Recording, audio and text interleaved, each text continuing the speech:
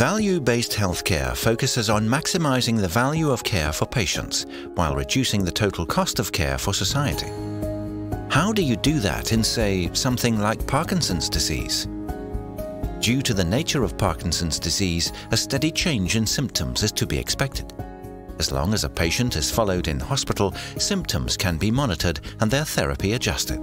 But coming home, patients might not catch the gradual worsening of symptoms, can't gain access to their neurologist when needed, or simply are unaware that they have a right to be helped. Om man ser rent praktiskt, när jag fick första problemet med det här, så åkte jag in till akuten. Därför det fanns ingen Parkinson-kunnig som jag kunde vända mig till när det här hände. Och hade jag bara hamnat rätt så hade jag kunnat veta att om jag hade tagit en extra dos så hade jag kunnat häva den här förlamningen som jag fick. Och vad kostar det inte att ha mig inne på sjukhus? Tio timmar på akuten. Vad kostar inte det? In recognizing the need for patient support outside hospitals, Nordic Infucare has initiated a program where we identify and monitor areas that matter to our patients' quality of life.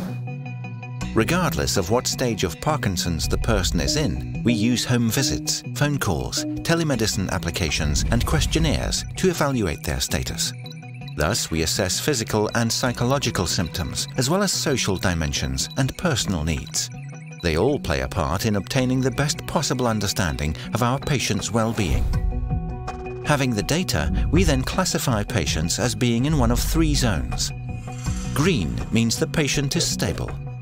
Orange, that interference is needed and will perhaps step up monitoring or recommend new routines. And finally, on red, we'll flag the patient to his or her physician for further evaluation.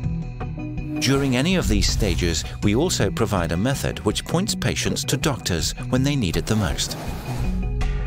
It really is a win-win situation. By extending our offering to the ongoing care of people with Parkinson's, we become more relevant in making sure that the treatments prescribed really do what they're intended to do. We've seen great interest in our proposed solution, and we are now looking at ways to implement this new patient pathway for people with Parkinson's.